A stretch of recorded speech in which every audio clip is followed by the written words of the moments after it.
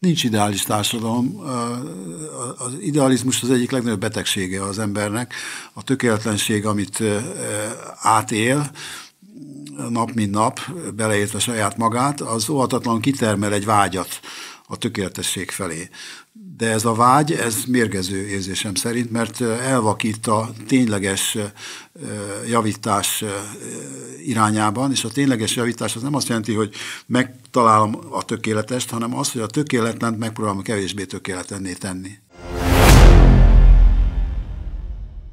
Hogyan hat a társadalmunkra a válság? Azon belül például a COVID időszaknak meglátszanak-e a hatásai, illetve ezt a mostani háborús válságot, időszakot és az ennek nyomában járó gazdasági válságot hogyan fogja a társadalom majd túlélni, illetve milyen nyomai lehetnek a társadalomnak ezeknek. Erről is fogunk beszélni a következő egy órában, és nagy tisztelettel, szeretettel köszöntöm Csepeli Györgyöt, szociálpszichológust. Jó napot kívánok! Én is mindenkit köszöntök, nagyon örülök, hogy itt lehetek. Kivételesen egyet kell értsek a kormány szóvivővel, aki nem sok jóval kecsegtetett a következő évre, és valóban itt halmozottan ö, olyan hatásokkal kell számolnunk, amelyeknek a kezdőpontja valószínűleg a Covid járvány, de hát aztán az lecsengett, utána jött ez a rettenetes kelet-európai háború, most itt a nyakunkon az energiaválság, a teljes kiszámíthatatlanság. Tehát azt kell mondjam, hogy a világ, amely az emberek esetében soha nem volt egy biztonságos hely, hiszen az ember, ahogy Hankis Elemér mondta, meglehetősen idegen ebben a világban, idegenként születik, idegenként hal meg, és a két pont között kétségbe, kétségbe esetén keresi a fogózókat, tehát a bizonytalanság, a változékonyság, a kétértelműség egy olyan jellegű helyzetet teremt valamennyünk számára, amely bizony szempontból már a holnapi napnak az előrelátását is megnehezíti. Ezért azt kell mondjam, hogy az a fajta szorongás, amely, amely eltölti az embereket, nem csak Magyarországon, hanem egész Európában, az nyilvánvalóan nem csak a lelkünkre, hanem a testünkre is kihat, és ennek megvannak a maga megnyilvánulásai, hiszen nőttek a lelki eredetű betegségek az olyanok, mint a depresszió, szélséges esetben az öngyilkosság, amely szintén megnőtt, a családon, a családon belül elkövetett erőszak tetemesen megnövekedett. Ezeknek a lelki betegségeknek a átfordulása a testi betegségekbe szintén meglehetősen szemben tűnő. Tehát egészében azt kell mondjam, hogy persze túlélünk, de szelektíven élünk túl, egyesek nem fognak túlélni. A társadalomra gyakorolt hatását ezeknek a válságoknak hogyan lehet látni? Gondolom, hogy azért ehhez kell egy idő, még ezt akár szakemberként meg lehet figyelni bizonyos tendenciákat, de ugye volt a Covid-nak egy kemény két éve, és nagyon sokszor elhangzott az, hogy már nem lesz ugyanolyan a világunk, mint előtte volt. Ez olyan szempontból igaz is, hogy íme egy háború, és még nem tudjuk majd, hogy mi jön ezután. Viszont ha az ember a hétköznapi életét éli, a Covid-nak a hatásait kevésbé látja. Tehát az, ha azt gondolhattuk volna, hogy az emberek mostantól maszkba fognak mindenhova járni, de ezt nem nagyon látjuk. Tehát próbálnak az emberek úgy tenni, mintha mi sem történt volna. Hát a világ sok szempontból nem lett olyan, mint volt. Nagyon sokan meghaltak például fölöslegesen akiknek nyilvánvalóan megváltozott a világuk alapvetően. Az, hogy hordunk maszkot, vagy nem hordunk maszkot, az sok szempontból inkább identitásjelző, nem tényleges védekezés. Egészében véve, amit mondtam, az változatlanul érvényes, hogy a lelki változások azok viszont visszafordíthatatlanok. A szorongás az együtt van mindennapjainkban, és ugye az ember kimegy az utcára, akkor ezt nem feltétlenül látja, de ha bemegy a lakásokban, akkor feltétlenül minden egyes ember kell, hogy érezze azt a fajta változást, azt a fajta e, tulajdonképpen idegenségérzetet, amiről beszéltem, amit ez a helyzet kihoz belőlünk. Mert a, a, a paradoxon tulajdonképpen az, hogy a szociálpszichológiai vizsgálatok azt mutatják, hogy amikor valami háborús helyzet van, tehát megtámadnak bennünket, a kívül, kívülről ellenség támad bennünket, akkor valahogy reziliensebbek vagyunk, akkor szokott csökkenni az öngyilkosságoknak a száma, akkor az kihozza az emberből az ellenálló képességet az erőt. De most az ellenség az láthatatlan, és ez a fajta láthatatlansága az ellenségnek, ez viszont pontosan ellentétes hatást vált ki. Ezért vannak azok a lelki kóros elváltozások, amelyekről beszéltem. Van a magyar társadalomban olyan specifikum, ami a válságok idején egyébként előjön? A magyar társadalomban van bőven specifikum, nem csak válság, hanem prosperitás idején is. A, az a fajta negativizmus, amit ugye hát leginkább a himnuszunk fejez ki, az a fajta bűntudat, aminek nincs igazi bűn az alapja, vagy ha van, akkor az teljesen diffúz és mindenkire érvényes, és akkor az már nem egy igazi bűn. Tehát ilyen szempontból a, a negatív, pessimista hozzáállás, az ezzel társuló bizalmatlanság, gyanakvás, ez óhatatlanul egy specialitása a magyar társadalomnak, ami nem tegnap kezdődött, hanem hanem, jóval korábban. És ezek a specifikumok generációkon át öröklődnek? Tehát ezt úgy szívjuk magunkba, hogy észre sem vesszük? Hát itt több rétegben eh, lehet gondolkozni. Az egyik az, hogy nyilván van egy makroszociológiai eh, átörökítés, ami egy, a körülményeknek egy olyan halmaza, amit a, a Magyarországnak az a sajátos geopolitikai helyzete jelent, hogy egyszerre tartozunk kelethez is, eh, nyugathoz is, a kettő között tulajdonképpen kompként, ahogy Adi mondta, közlekedünk. Van egy mezoszociológiai vonatkozása, ami óhatatlan azzal jár, hogy az a rendszer, ami, ami ugye elmúlt, mint államszocialista rendszer, és helyette jött egy hát nagyon nehéz kapitalizmusnak nevezni, de szocializmusnak se lehet nevezni, egy ilyen furcsa hibrid rendszer, ezt meglehetősen nehezen viseljük el, és ami igazán érdekes, ugye a mindennapi életünk, a mikroszociológia, ahol a transgenerációs átadások, a mintáknak a transgenerációs átadásai, az nagyon jellemzőek. Én magam látom különfajta vizsgálatok kapcsán, hogy például a családi erőszak, a depresszió, az öngyilkosság, a, az alkoholizmus, a kábítószer használat, ezek olyan minták, amelyeket ugye a jelenben gyakorolnak sajnálatos módon az emberek, de azért tudnak gyakorolni, mert már szüleik, meg nagyszüleik is gyakorolták. Tehát itt van egy a mikroszociológiai szinten a mintáknak egy olyan átadása, amely bizonyos szempontból fogságba ejt bennünket mennyire, vagy hogy lehet könnyebbe ezeket a válságokat túlélni, vagy feldolgozni, attól függen, hogy az ember milyen környezetben él. Gondolok itt arra, hogy egy nagyvárosi létről van szó, vagy egy, egy kisebb város, egy település, egy falu, tehát hogy milyenek a személyes kapcsolataink, a környezetünk, mennyi barátunk van, és a többi. Nyilvánvalóan a társashálózatnak a mennyisége és minősége az nagyon sokat számít. Ez nem feltétlenül településhez van kötve, magányos az ember lehet egy kis faluban is, lehet egy nagyvárosban is. Felületes kapcsolatai azok lehetnek szintén településtől függetlenek. Ami nagyon fontos, hogy egyfajta arányra van szükség az úgynevezett erős kötések és gyenge kötések között. Az erős kötések ugye azok, amik a családban a, a, a jó ismerősök között megtartanak bennünket az életben, de ezek bizonyos szempontból bezárnak, elszigetelnek.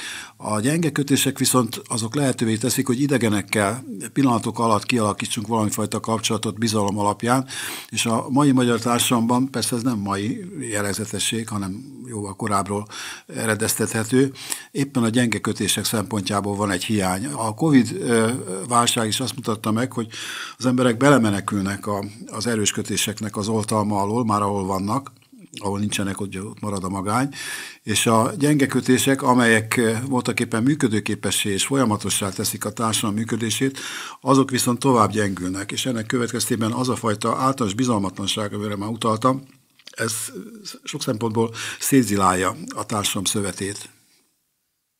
Ugye beszéltünk arról, hogy hogyan hat ránk ez a válságos időszak, illetve az emberi kapcsolatok, és azt lehetett látni, hogy Covid alatt még a, akár barátságok is tűnhettek el, vagy szét, tehát sokkal gyengültek ezek a kapcsolatok, ezek a társadalmi szövetek, és arról számolnak be sokan, akár egyházi közösségek, vagy egyéb más közösségek, amelyek valami mentén szerveződtek, hogy nagyon nehéz visszavonzani az embereket ezekbe a közösségekbe. Volt egy, egy olyan típusú negatívum a Covid-járvány kapcsán, amely a generációkat állított szembe egymással. Tehát a fiatalok és az idősek egymást hibáztatták, vagy egymással szemben gyanakodtak mondván, hogy egyik vagy másik csoport terjeszti a, a, ezt a vírust, akkor volt ugye egy nagyon jelentős paranoia, életkortól függetlenül, egészen érdekes módon, amely a vakcinával kapcsolatban ütötte fel fejét. A legkülönbözőbb téfitek, konspirációs elméletek akadályozták azt, hogy a vakcina és a ezzel kapcsolatos átoltottság a társadalom többségére kiterjedjen, és ezzel adjon egyfajta nyáj immunitást Tehát egy, elszabadított egy ilyen bizalmatlanságot, aminek mondom már megvoltak a, a korábbi előzményei.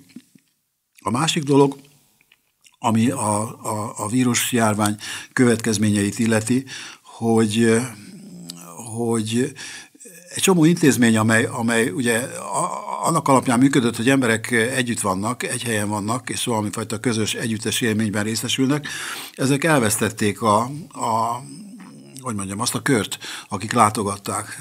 Miskolcon voltam nemrég, és ott a színház vezetőkkel beszéltem, és azok mondták, hogy például a színház válságba jutott, és gondolom nem csak Miskolcon, hanem másút is. Tehát azok az alkalmak, ahol együttes rendezvény, együttességen alapuló rendezvények történtek, azok bizonyos értelemben véve gyanúsá váltak, és ennek következtében ezt helyreállítani, ez nem lesz egy egyszerű feladat.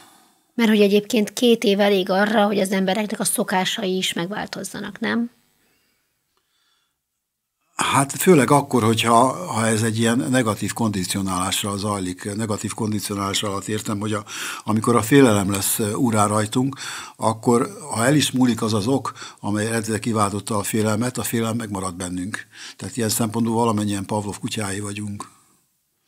Mennyire erősítette ez a válsághelyzet a szolidaritást bennünk? Vagy azt, hogy odafigyeljünk a másikra, hogy vigyázzunk a másikra? adott esetben. Igen, ez a legnagyobb deficit. A szolidaritás hiány, ugye, ami összefügg a bizalmatlansága, az korábban sem volt idegen a magyar társadalomtól, és ezek a válság helyzetek, ugye volt a Covid járvány, van a háború, vagy most van az energia deficit, ezek tovább gyengítették a szolidaritást. Tehát én nem tudok hogy mondjam, részvétlenül elmenni a, az utcán az egyre szaporodó hajléktalanok mellett, és ahogy nézem, persze sajnos én is részt veszek, tulajdonképpen senki nem törődik ezekkel az emberekkel, mintha nem is lennének emberi lények, és valóban úgy látom, hogy az elhagyatottság, amely kínozza ezeket az embereket, a marginalizáció, nem csak az utcán, hanem, hanem esetleg a fűtetlen otthonaikban, az nagyon rossz bizonyítványt állít ki a mai magyar társadalomról. Ugye mostanában jelent meg egy-két cikk, amelynek a szalag címe olyasmi, hogy a magány, mint csendes gyilkos, vagy hogy egyáltalán milyen rossz akár testi tüneteket is okozó ö, dolog a magány, és hogy egyre többen magányosak, és nem csak idősek, hanem fiatalok is. Igen, itt a magány és a depresszió azok összefüggnek egymással, mert bizonyos értelemben véve, hogyha ha valaki magányosságra ítéli magát, mert nincsenek kilátásai, nincs jövője, nem látja a holnapot, akkor egy olyan börtönt teremt, aminek a kulcsa tulajdonképpen saját magánál van. És ilyenkor egyetlen egy megoldás, hogy ezt a kulcsot el kell dobni, pontosan ki kell nyitni az ajtót, a kucsot utána el kell dobni, és meg kell keresni a másikat, mert csak a másik lehet az a híd, amelyen keresztül ezt a rettenetes érzést, amit az egyedülét jelent, enyhíteni vagyunk képesek. Ugye ez az elmúlt pár év most már sok-sok területen megmutatja azt, hogy igazából mi is van az embernek úgymond a szívében, vagy a, a, a jelleme mennyire erős. Arra gondolok, hogy amikor egy ilyen veszélyhelyzet van, válsághelyzet van, adott esetben mondjuk nincs elég cukor a boltban, és akkor én is megyek oda, akarok cukrot, tehát hogy letaposom-e a másikat, mondjuk azért az egy kiló cukorért, vagy hogy éppen ö, tudok jó lenni a másik emberhez. Ez mitől függ, hogy egyénileg milyen döntéseket hozunk egy ilyen kiélezett helyzetben? Hát az ilyen hiány, áruhiány helyzetek a legrosszabb reakciókat hozzák ki az emberekből. Ugye a, itt megint beszéltünk, beszéltünk transgenerációs emlékezetről, én például még emlékszem jól a 56-ot követő fantasztikus áruhiányra, őrült sorbanállásra, elbeszélésekből ismerem, hogy mit jelentett a jegyrendszer a második világháború alatt, mit jelentett utána a békekölcsön. Tehát mit jelentenek azok a kényszer intézkedések, amelyeket az állam ró a polgáraira, akiket nem tekint polgároknak, hanem csak pusztán számoknak, pusztán könyvelési tételeknek, és ilyen értelemben véve ezek a jelenségek, amelyeket említ, hogy nincs cukor, hogy nincs benzin, hogy nincs olaj, ezek hangsúlyozom a lehető legrosszabb reflexeket váltják ki az emberekből. Valószínűleg a, a, a, a megoldás az, az az talán egy, egy sokkal őszintébb és sokkal nyíltabb kommunikáció lehetne a társadalom egészében. És ha már a nyilvánosságnál tartunk, akkor még egy nagyon fontos tényezőt említsek, amit eddig nem említettem, hogy ma már ugye a tömegkommunikáció az nem abból áll, mint korábban, hogy volt egy központ, volt egy rádió, volt egy televízió, volt egy újság, és ami ott megjelent, azt tulajdonképpen eljut a százezeres, százezeres vagy milliós közönséghez. Ez a rádió is, amiről beszélünk, amiben itt beszélek, szerintem pár ezer embernél többet nem fog elérni, és így vagyunk a többi rádiókkal is. Tehát ilyen szempontból a társadalmi média az került előtérbe, ahol emberek egymással nem egyszerűen kommunikálnak, hanem előállítják a tartalmakat, és fogyasztják is a tartalmakat. Ez ugye angolul mondják a consumer, és ez a fajta, ha úgy teszik, információs önállátás, amit a társadalmi média lehetővé tesz, ez elvileg ugye egy nagyon demokratikus dolog lehetne, de valójában nem az, mert buborékokat teremt, mindenkit bezár a saját maga valóságába, és ezek a valóságok egymással nem kommunikálnak. Tehát ilyen szempontból azok a rossz reflexek, amelyeket a, a hiánytünetek felébresztenek az emberekben, ezek csak rosszabbá válnak. A társadalmi nyilvánosság szerkezetváltása folytán. Visszatérünk még a szociális médiára, de még előtte itt a záróhiányjal kapcsolatban. Nekem volt olyan ismerősöm, nagyon-nagyon idős, aki még a második világháborúban gyermekként élte azt át, és emlékszem, hogy amikor még csak az első hírek jöttek, hogy ebből lehet járvány a COVID-19-ből, akkor ő már vett több karton lisztet, cukrot, és, és, és, és néztük, hogy miért. És ugye, ahogy teltek a hónapok, úgymond hát így megdöbbentő volt látni, hogy ő már ezt valahol előre látta, hogy ez a helyzet, ami aztán be is következett, ugye bekövetkezhet, hogy nem mehetünk a korboltba, amikor akarunk, vagy nem is vehetünk annyit, amennyit szeretnénk, stb. stb. Tehát ezek a reflexek ilyen mélyen beivódnak, és akkor ebbe a generációba, aki most ezt átélte, szintén várható, hogy ez benne lesz? Igen, pontosan erről van szó, hogy azok a minták, amelyeket annak idején a nagyszüleink vagy a dészszüleink gyakoroltak, azok tudattalan módon, persze nem a Freud értelembe vett tudattalanra gondolok, öröklődnek át és aktiválódnak, amikor hasonló helyzetek keletkeznek. Pontosan erről van szó. Nagyon jól látja. De akkor ez egyfajta előrelátás is, tehát még nincs ott a, úgymond a katasztrofális helyzet, de ő már előre látja azt, hogy ez lehet, és megteszi ezeket hát az Magyarországon szerintem a jövő a sok szempontból maga a múlt, tehát hogyha valaki előre lát, akkor nem kell más tennie, mint régi újságokat kell olvasnia, vagy meg kell kérdeznie a, a nagyszüleit. Hát most lesz alkalom beszélgetni a nagyszülőkkel, úgyhogy mindenkit biztatunk erre, de ha már itt a generációknál tartunk, hogy hogyan tud például egy mai nagyszülővel beszélgetni egy mai unoka, és akkor itt már egy kicsit kitérhetünk erre az online világra, a közösségi médiára, ez mennyire formálja át a fiatalabb generációnak úgymond az érzékelését, azt, hogy miről tudnak egyáltalán kommunikálni, hogyan értik meg az előző generációkat? Hát a a változás az drasztikus, és ez egyszerre jelent jót is, meg rosszat is. Jót jelent olyan szempontból, hogy kinyitja a világot a fiatalok előtt, hiszen az online világ segítségével ugye bárkiről, bárkivel, bármikor, bárhol, bármiről tudok kommunikálni. Voltak éppen az angol nyelv az ilyen szempontból már egy, egy univerzálisan beszélt, persze nem a Shakespeare-i nyelvhez hasonló kommunikációs eszköz. Tehát ilyen értelemben véve a fiatalok átléptek egy olyan virtuális világba, amelyet nagyon könnyen átalakíthatnak gyakorlati valóságá, akkor, hogyha elutaznak oda, akivel beszélnek a virtuális térben. A másik ugyancsak előnyös változás, hogy a, hát vagy előnyös, vagy nem előnyös, nem tudom megítélni, a fordított szocializáció, amikor a, az idősebb generáció, ugye, akik digitális bevándorlók, ha egyáltalán érintkeznek a digitális világgal, rászorulnak a, a, a fiataloknak a segítségére, és korábban ugye az idősebbek szocializálták a fiatalokat, most a fiatalok szocializálják az idősebbeket, és ráadásul ez egy véget nem érő folyamat, mert olyan gyors a technológiai változás, hogy az, amit a, a 20 éves gyerek meg tud tanítani, azt neki, az már az, az nem olyan korszerű, mert neki meg a 15 évesről kell tanulnia. Tehát ilyen értelembe véve tényleg a, a fiatalok vették át a primet a digitális készségeknek a, a, a megtanításában. Ami rossz, egyfelől, amire utaltam már ezek a digitális buborékok, másfelől a múltalanság, szinte azt mondhatnám a létfelejtés. Tehát ha belépünk ebbe a virtuális világba, jól lehet, ott minden megmarad, semmi nem vész el, de pontosan emiatt tulajdonképpen a múlthoz való viszonyunk az, az tökéletesen megváltozik ahhoz képest, ami korábban volt, amikor a múlt az egy, az egy feladat volt, olyan volt, mint egy földrész, amelyet fel kell fedezni.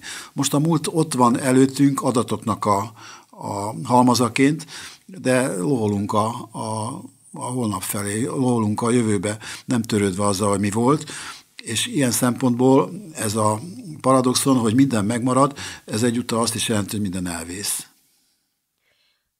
Ugye nem tudom, hogy emlékszünk-e még olyan időszakra, mint ez, hogy a, hogy a fiatalabbak tanítják az idősebbeket, és hogy ennek a folyamatnak milyen kifutásai lehetnek. Lehet egy olyan kifutása, hogy az idősebbek mondjuk még, még felejthetőbbnek érzik magukat, vagy még kevésbé hasznosnak, mint mondjuk eddig, mert azt gondolhatták, hogy azért a tapasztalat, ami nekik van, arra a fiataloknak szüksége van. Másrészt a fiatalok érezhetik úgy, hogy tényleg övék a világ, mint ami egyébként is jellemző a fiatalokra, de föl, föl erősítheti ezt ez a fajta digitalizáció? Ez a helyzet tulajdonképpen mind a fiatalok, mind az idősek számára azt a kihívást jelenti, hogy sokkal radikálisabban el kell gondolkozni arról, hogy ők kicsodák. Tehát, hogyha ha a tudatosság, az önismeret, a hogy mondjam, a, a spiritualitás kerül előtérbe, ami alatt értem az élet értelmének a keresését, mind a fiataloknál, mind az idősebbeknél, akkor ebből tulajdonképpen jól jöhetünk ki valamennyien. Ha a dolog a létfelejtés irányában megy, amire utaltam, és a jövőbe való értelmetlen rohanásá fajul, akkor viszont a folyamat végzetes.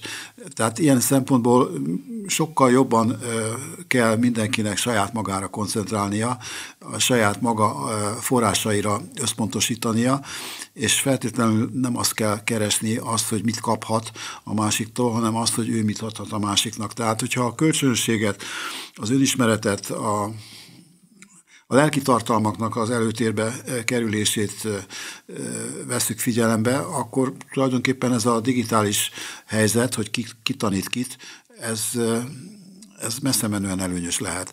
Ha csak pusztán tárgyként nézzük egymást, ha pusztán csak arra használjuk egymást, hogy, hogy megtanul, megtanuljuk azt, hogy mit, mikor, hol kell kattintani, akkor, mint mondtam, a dolog öncélúvá válik, sőt, meg kell mondjam, bizonyos szempontból idiotisztikussá, tehát teljesen elveszti az értelmét.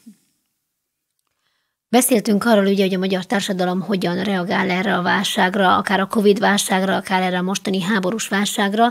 Ugye lehet emiatt okolni a politikát, de nem is szeretném, ha nagyon a politika irányába elmennénk. Azt viszont lehet érzékelni, hogy ez a konfliktus az ukrán-orosz háború megosztja a magyar társadalmat, mint ahogy a Covid is egyébként megosztotta, hogy beszéltünk róla, hogy voltak ugye olyanok, akik bizonyos dologban hittek, és akkor amellett érveltek. Most is lehet látni ezt a megosztottságot. Ennek mi az oka? A vakcina esetében erősebb volt a megosztás a hívők és a hitetlenek között, a felelős viselkedésűek és a felelőtlen viselkedésűek között. Ebben belejátszott persze a társadalom médiának ez a, ez a buborék teremtő képessége, és belejátszott az, hogy a, a tudósok voltak éppen nem tudták érthetően elmagyarázni azt, hogy mi az igazság tehát a tekintélyvesztés, amely az eliteket érte, nem csak a tudományos elitet, hanem a politikai elitet is, óvatatlanul belejátszott abba a helyzetbe, amiről beszéltünk. A, háború kapcsán úgy látom, hogy a, a megosztottság az, az, az nem olyan mély, mert amiben van egy egység, az a szorongás, hogy ez a háború, ez, ez ki fog terjedni országunkra is, és ilyen értelemben véve politikai állásponttól függetlenül mindenki úgy érzi, hogy az a fajta bizonytalanság, kiszámíthatatlanság, változékonyság és kétértelműség, amiről a interjúm elején beszéltem, ez az ő személyes problémája, személyes életét átható, hát tulajdonképpen olyan, mint egy kísértet, amitől nem tud megszabadulni. Tehát én itt nem érzem a, a megosztottságot. Tehát akkor minél nagyobb a baj, azért annál inkább összefogunk? Hát összefogás ebből nincsen, mert hogyha mindenki szorong, akkor abból ugye az következik, hogy, hogy félek, félek önmagamtól, félek a másiktól, megpróbálok menekülni, és a jelenlegi helyzetben ugye az a, az a, az a álláspontom, vagy, vagy úgy látom, amire már utaltam is, hogy, hogy most nincs hova menekülni. Már a járvány kapcsán is ez feltűnt, hogy, hogy a fenyegetettség annyira megfoghatatlan volt, annyira, hogy mondjam, levegőben volt a szónak a szoros értelmében, hogy nem volt hova menekülni. És ez okozta az igazi problémát. És most is ez van, hogy hát hova meneküljek az ukrán-orosz konfliktus elől hova meneküljek a, a klímaváltozás elől, hova meneküljek a migráció elől, hogy csak néhány ilyen szorongásgócot említsek. Ennek következtében egy bénultság az, ami megfigyelhető, és ez a bénultság, ez csak akkor, ezt a bénultságot csak akkor lehetne leküzdeni, hogyha azt a fajta összefogást, amit emlegetett, azt realizálnánk, és, és ténylegesen megpróbálnánk megkeresni a másik embert, és ha már rettegünk, akkor legalább együtt rettegünk. Ha a problémák így egymásra rakódnak rá, akkor elérhetnek egy olyan szintet, ahol az átcsap egyfajta a szorongásból egy ilyen nihilizmusba, hogy ahogy említette is, nem tudok hova menekülni, nem tudok mit csinálni, nincsen befolyásom ezekre az eseményekre, akkor amíg élünk, addig éljünk jól, vagy érezzük jól magunkat? Hát nehéz, nehéz megmondani, hogy ebből mi lesz. Általában ilyenkor az szokott történni, hogy előbb-utóbb azért jelentkezik valaki, aki épp karácsonykor ugye ezt teljesen indokolt mondani, aki megszületik, és lesz belőle vagy messiás, vagy, vagy olyasmi, aki messiásként tudja magát elhitetni. Mindenképpen lesz belőle valami olyan karizmatikus ember, aki képes arra, hogy követőkre találjon. És attól függően, hogy mit üzen, attól függően aztán a kimenet lehet jó is, vagy rossz is. Tehát ilyenkor hajlamosabbak az emberek egy ilyen messianisztikus várakozásra, illetve arra, hogy ha megjelenik valaki egy épkézláb ötlettel, akkor feltétel nélkül kövessék. Pontosan, pontosan. De lehet, hogy nem kell várni arra, hogy, hogy valaki ebből a semmiből egyszer csak előkerüljön. Lehet, hogy a már meglévők is elég erőt jelenthetnek, akár Jézusra gondolok, akár Buthára gondolok, akár Mózesre gondolok, tehát ilyen értelemben véve most egy olyan tér nyílt az emberek előtt, ami a spirituális szempontból fogja nekik megmondani a választ arra a kérdésre, hogy, hogy lenni vagy nem lenni. Ez nagyon érdekes kérdés, és felmerült bennem az is, hogy válhatnak-e ilyen vallásos meggyőződésekké ezek a fajta hitek, amiről itt az előbb is beszéltünk. Ugye sokszor úgy tűnt, hogy a COVID járvány idején is voltak olyan ilyen hitek, most én így nevezem ezeket, de javítson ki, ha van erre jobb szó, amik már szinte ilyen vallásos meggyőződésnek a ruháját öltötték magukra. Várható, hogy a jövőben akár az, hogy valaki kivel ért egyet, kivel nem, melyik pártra szavaz, mit gondol a világról, az kicsit ilyen vallásos hitté is válik? Nem csak várható, ez már itt is van előttünk. Tehát a modernizációról ugye annak idején még én is úgy tanultam, és azt is tanítottam Max Weber alapján, hogy ez majd a rációnak a világosságát fogja elhozni. Tehát a felvilágosodás ilyen értelemben véve beteljesedik, de sajnos az derült ki a modernizációról, hogy hogy nem a felvilágosodás eszméi érvényesültek, hanem pontosan ellenkezőleg elsötétült a, a horizont, bekövetkezett a holokasz, bekövetkezett a gulág, bekövetkezett a atombomba, és nem sorol tovább ezeket a e, jelenségeket, amelyek egyike se passzol a felvilágosodás e, mintájába.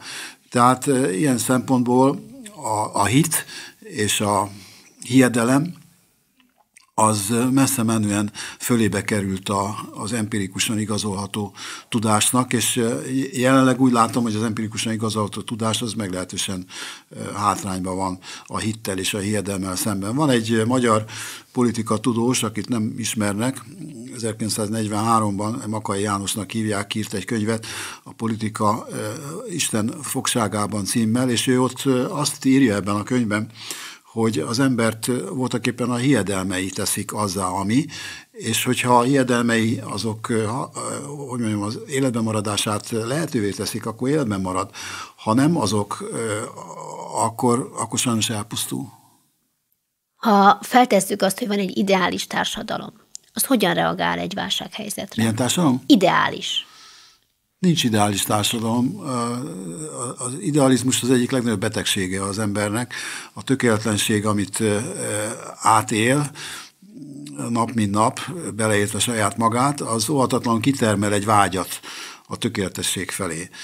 De ez a vágy, ez mérgező érzésem szerint, mert elvakít a tényleges javítás irányában, és a tényleges javítás az nem azt jelenti, hogy megtalálom a tökéletest, hanem az, hogy a tökéletlent megpróbálom kevésbé tökéletlenné tenni. Tehát akkor a magyar társadalomnak is az lenne az útja, hogy felismerje ezeket a hiányosságait, és megpróbálja minél kevesebb hiba ponttal teljesíteni ezt a feladatot? Ilyen széles értelemben nem tudom ezt mondani, de hogy minden egyes ember számára ez egy javaslat, abba biztos vagyok. Ha a jövőbe tekintünk egy picit, amit nyilván nem tudunk oly módon megtenni, hiszen nincsen olyan tudásunk, ami a jövőre így exakt módon vonatkozhatna, de mégis mit várhatunk ezekből az elmúlt éveknek a folyamatából? Mi következne? Hát én ez, ez kevés vagyok, hogy ezt mondjam erre a kérdésre felelősen nem lehet válaszolni, hiszen még azt hangsúlyozom, még azt sem tudom megmondani, hogy hónap mi lesz. De egy ilyen válság után, ha akkor, ha a történelmi távlatokban nézzük, hogyan tudott fölállni mondjuk a magyar társadalom. Az első, a második világháború is egy nagyon nagy megrázkodtatás volt. Trianonnak a, a, a, az eseménye, mit lehet várni? Nyilván reméljük, hogy ekkora megraszkodtatások nem fogják érni a magyar társadalmat, de mégis lehet ebből következtetés levonni, hogy abból hogyan álltunk fel, és hogy... Szerintem válaszút van. Mindig is válaszút előtt állt válságokat követően a magyar társadalom, de most megint válaszút előtt állt. Általában rossz úton, rossz úton indultak el, az emberek a múltban, és a jövőben ez ne úgy legyen, aztán világosabban kell látni az alternatívát. Az egyik lehetőség a bezárkózás, a félelem, a paranoia, a nemzeti önzés, és a, a másik lehetőség a, a, a, a nyitás, nem a végtelen felenyitás, hanem az európai nyitás, az összefogás a többi európai néppel, és megkeresni azokat a közös értékeket, amelyek amelyek választhatnak arra a kérdésre, hogy kik vagyunk mik, akik európaiaknak tartjuk magunkat. Tudna mondani egy-két ilyen közös értéket, ami egy ilyen közös nevező tudna lenni? Hogyan? Egy pár ilyen közös érték, ami egy közös nevező lehetne akár itt az európai közösségben. Hogyne, hát a, a legfontosabb ilyen érték az ember életnek a szentsége, hogy minden élet számít. Az az élet is, aki éppen most haldoklik a Móri Zsigmond körtéren. A másik ilyen érték a szabadság, ami azt jelenti, hogy, hogy választhatok a között, hogy mi a jó és mi a rossz, és a harmadik érték a jó. A jóság? A jó szélesebb értelembe véve a rosszal szemben, a gonoszszal szemben. Meg tudjuk ezt mi akár így egyénileg is határozni mindig, hogy mi a jó és mi a rossz? Ezt mindenkinek saját magának kell átéreznie, hiszen mindenkinek saját magának kell választania, de ezt a választást ezt nem spórolhatja meg, mert ha megspórolja, akkor akkor ugye, ahogy Babis mondja, vétkesek közt cinkos, aki néma, akkor a gonosz oldalára áll. Ugye, ha szociálpszichológiai szempontból nézzük, akkor ugye van egy ilyen tömeg, nem tudom a szakkifejezés, de egy ilyen tömeghatás, amit elég sokan mondanak jónak, akkor azt én is el fogom hinni előbb-utóbb, hogy az jó. És, és ez megfigyelhető volt azért a magyar történelemben is. Igen, de a, a ugye beszéltünk a válságról, és beszéltünk a válságok által létrehozott választási helyzetről. Nyilvánvalóan itt nem egyszerűen egy embernek a választásáról van szó, hanem tömeges választásról, és a tömegeknek épp úgy van lehetőségük a jót választani, mint a rosszat választani, ahogy múltban is volt, és szerintem a jövőben is így lesz. Tehát ilyen értelemben véve az, hogy tömeg az önmagába véve se nem jó, se nem rossz, hogy mit választ, az a jó. A, a, a tartalom az lehet jó vagy rossz, és hangsúlyozom most a jó az európai irány, és nem az elzárkózás. Én nagyon köszönöm, hogy eljött, és ezekről beszélhettünk. Azt gondolom, hogy kaptunk egy kis muníciót gondolkodásra, hogy átgondoljuk ezeket a dolgokat, és ilyen dolgokon is gondolkodjunk. Csepeli György, szociálpszichológus volt a vendégünk, a Hitrádió nevében is nagyon jó egészséget kívánunk, kellemes ünnepeket és boldog új évet. Viszontlátásra köszönöm a lehetőséget, remélem, hogy követhető voltam. Abszolút követhető volt, és nagyon hasznos és érdekes volt, úgyhogy köszönjük szépen.